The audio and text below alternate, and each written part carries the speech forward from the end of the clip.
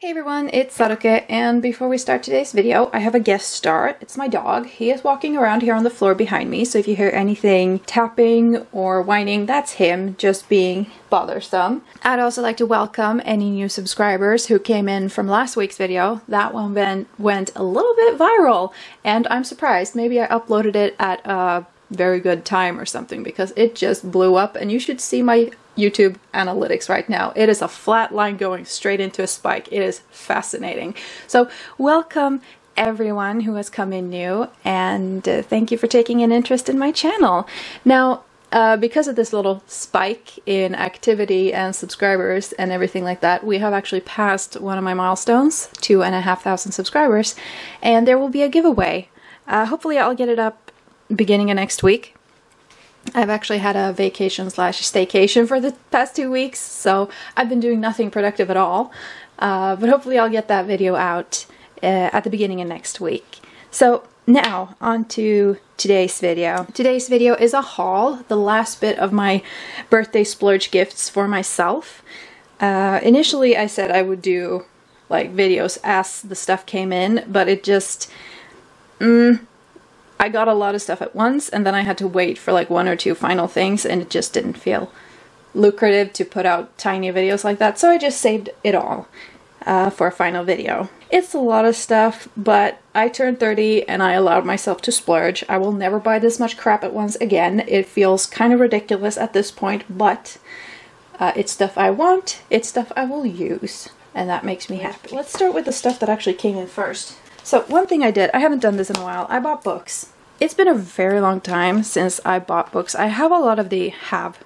I had a couple of the how to draw manga books. They look very similar to these, but they have like a volume number and stuff. So I got two of these. And this one here focuses on hands and feet. Uh, mainly on hands. And there's a little bit of feet at the back, but you can do so much more with uh, hands than you can do with feet. Um, but yeah, so I got one on hands and feet, and then I got one on couple poses.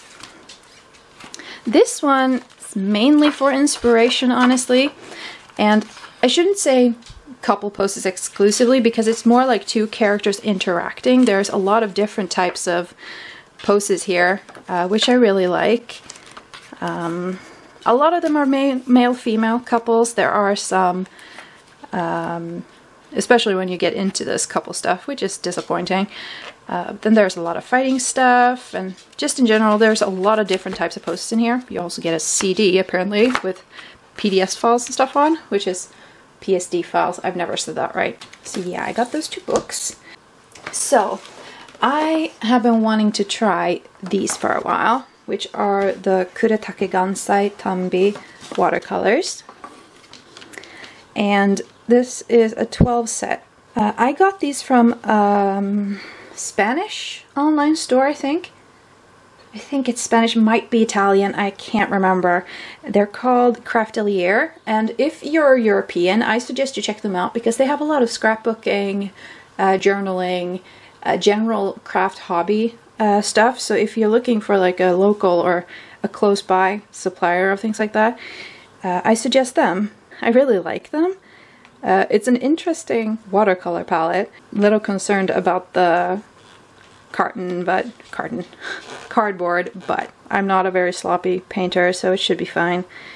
Uh, wish I could put them into some kind of metal tin palette because that's basically all I have. You get a lot of stuff for your buck though. Like these pans are huge. Like I thought, I thought they were shallow. Hold on, let me see if I can pick one up here. I thought these pants would be shallow because when I've seen them on videos, they've felt very, very shallow. But they're pretty much as tall as regular pants. So this is like a, I would say a double whole pan almost. So you get twice as much color as you would in a regular whole pan and it's just insane. These are gonna last until I die and probably until my children die. it's just, there's so much paint in here. I was tempted to get a bigger set, but uh, 12 colors tends to cover the range, uh, which is the most used. So yes, Gansai Tambi. I got locally from Panduro, I got two more Prima Marketing confection sets. Um, which one is this? yes, this is a thing I've done. I have a lot of these tins that look the same, so I've marked them up. So this is the classic, or not, the Confections Tropical. And then this one is the classics. Gotta say, the classics and the tropical are fairly similar. The classics are a little bit brighter, and the tropicals, I'd say, are a bit more rich in their colors. Uh, either way, I like them. I've had the Pastel Dream one for a really long time, and I find these palettes work really well if I want to paint in my bullet journal because it's a lot it's a lot kinder to thin paper. It's more of a craft paint or hobby paint rather than an actual watercolor. Um, it's a little bit more chalky, so the pigment stays on top of the paper and sort of remains vibrant without soaking in. It's really nice for that kind of work. So yes, got those two palettes from Panduro. Did I say that? I don't think I finished that sentence even. Um, and I've already covered them in stickers. Most of them are non-brand. This one, this one is Lee Ellickson. This is 108K. This one and this one are Joysan. The rest of them are just no so brand. That was those two palettes, and then let's continue with the palettes. No, I didn't buy more watercolor. These are watercolor tins. Uh, previously, I've bought large 24 pan or 24 half pan tins in these two colors. And I really like these um, Meeden watercolor tins. This one is not in use yet, but it's exactly the same model as these Prima Marketing ones and really any metal tin case. You get this, there's room for, well, for, there's actually room for 14 half pans in this um, because uh, let's see, which one is it? It's not that one. I actually moved my Daniel Smith watercolors in here, which was another thing I bought myself for my birthday. And then in this one, I've put my Royal Talens Van Gogh. And my Talens Van Gogh I got in a, it felt cheap. It was like a plastic tin and it was big and wide and just not really space saving.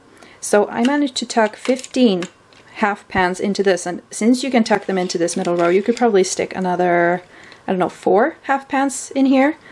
So in the rows themselves, you can get down 14 half pants. Yes, honey, I know I talk too much. Um, but yeah, so I've gotten new watercolor tins. Should I get more watercolor, I have one spare. I might just move some watercolors into that one. Uh, I'm going to pause and change the battery because my camera is blinking angrily at me. And then I'll get back with the last thing I have, which is I think I forgot to mention where I got these watercolor tins, but I got them off of Amazon. So, the last thing, the biggest thing, kind of want to show you the spines first, are these.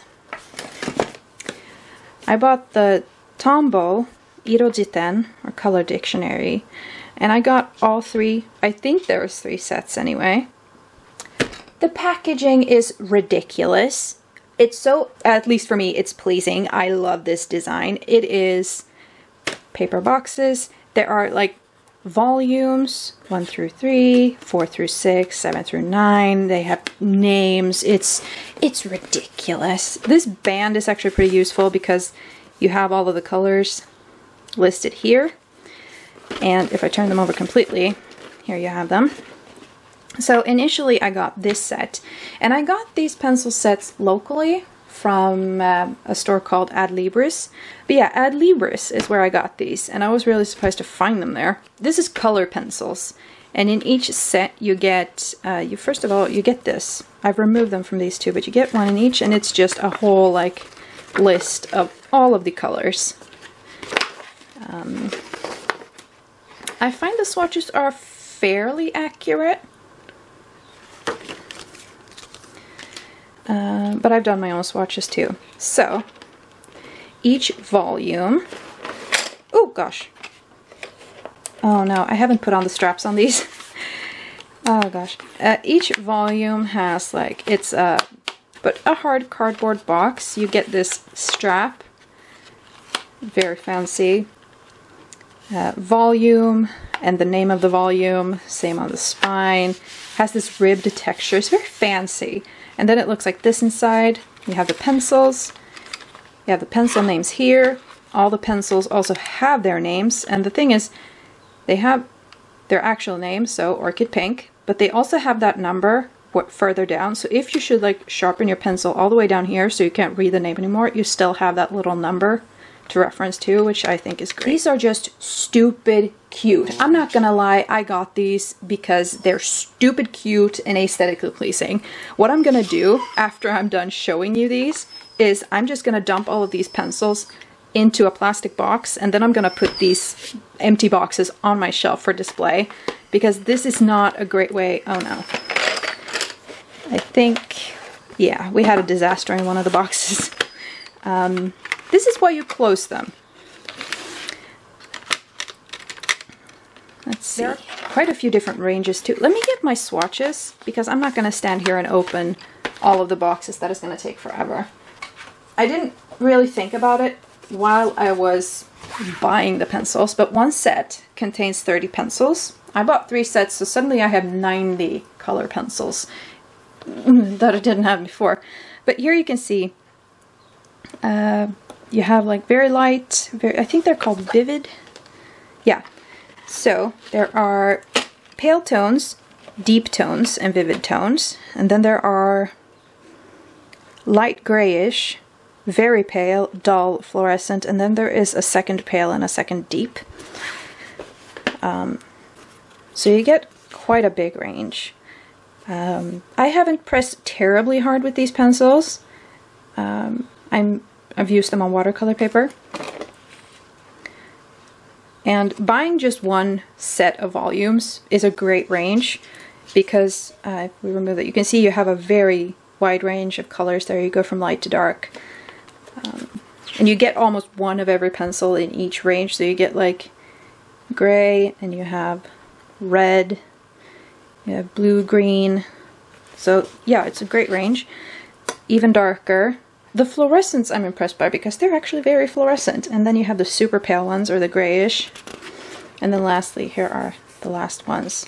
And as soon as I've finished this video, the pens are going in a box and these are going on display on a shelf because th this is not this is not great for like unless it's your only art supply I guess because then maybe it's easier to keep track of but as they are I find it very hard to sort of just, oh, I need one pencil from here, so I'm going to take out that one. And now I need one pencil from here, so I'm going to take out that one.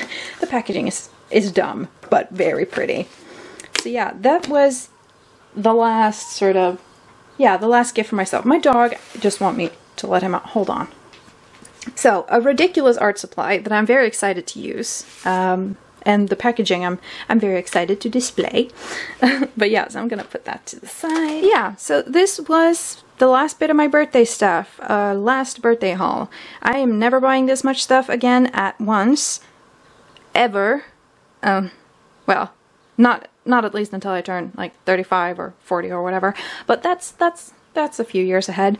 Um, anyway, thank you so much for watching. Uh, welcome everyone who has just recently subscribed and joined in new. Thank you everyone who has been a subscriber since before. Thank you for supporting my content. There will be, as I said, a giveaway coming up very soon. So yeah, uh, until next time, keep on scribbling friends. Bye!